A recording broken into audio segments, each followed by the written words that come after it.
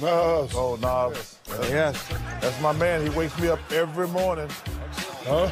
I, I, I listen to his song. Oh, okay. Yeah, I listen to one of his songs every morning. All right, thank you for explaining that. Uh, we all appreciate it.